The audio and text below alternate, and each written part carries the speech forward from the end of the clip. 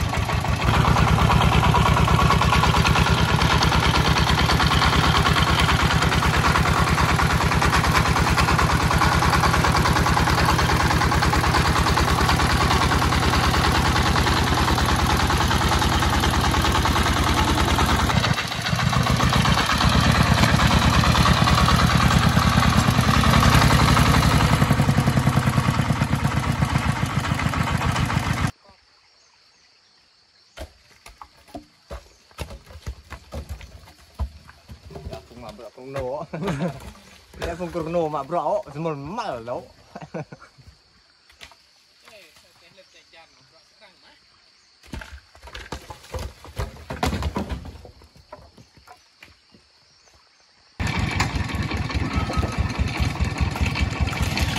Uh-huh.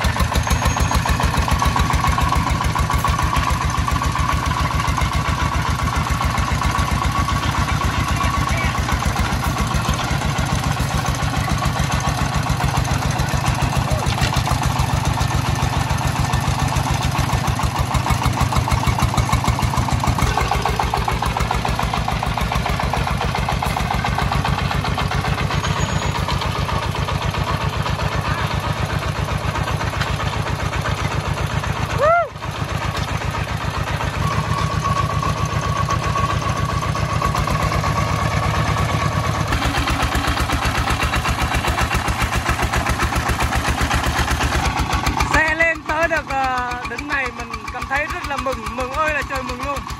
Mừng quá tuyệt vời. Lên uh, lên dốc này ờ, anh em mình mất khoảng tầm một tiếng rưỡi các bạn ạ mới lên được chỗ này này.